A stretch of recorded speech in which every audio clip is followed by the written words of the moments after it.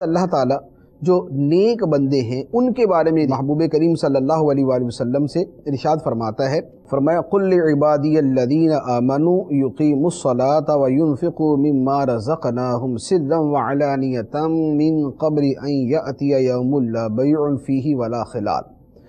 اے محبوب، میرے ان بندوں سے فرماؤ جو ایمان لائے کہ نماز قائم کریں۔ اور ہمارے دیے ہوئے میں سے کچھ ہماری راہ میں پوشیدہ اور اعلانیہ خرچ کریں۔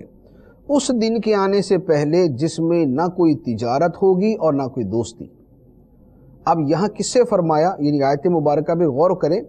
اللہ تعالیٰ فرماتا ہے کہ اے محبوب علیہ السلام، میرے ایمان والے بندوں سے فرمائیں، جو کلمہ تو پڑھ چکے، مسلمان ہو چکے، اسلام قبول کر چکے، ان سے فرمائیں، کیا نماز قائم کیا کرے، نماز پڑھا کرے۔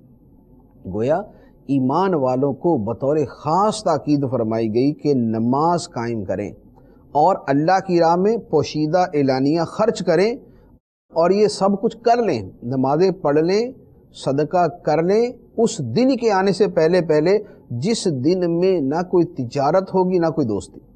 نہ کوئی دوستی کام آئے گی کہ جناب یہ میرا پڑوسی تھا، یہ میرا دوست تھا، یہ میرا فلاں تھا فلاں تھا۔ یہ دنیا کی دوستیاں اگرچہ جتنی مرضی گہری ہوں، اگرچہ چوبیس گھنٹے ساتھ گزارتے ہوں اور پوری زندگی ساتھ گزار دیں، قیامت کے دن یہ دوستیاں کام نہیں آئیں گی۔ قیامت کے دن نیکوں سے تعلق کام آئے گا۔ دنیاوی دوستیاں قیامت کے دن کام نہیں آئیں گی اور نہ ہی قیامت کے دن کوئی تجارت ہوگی کہ بندہ کچھ بیچ کر اس کا جو معاوضہ ملے، اس سے اللہ تعالیٰ کو اپنے گناہوں کے بدلے کے اندر وہ دے کر فدیے کے طور پہ دے کے جان چھڑا لے۔ فرمایا، ایسا کچھ نہیں ہوگا۔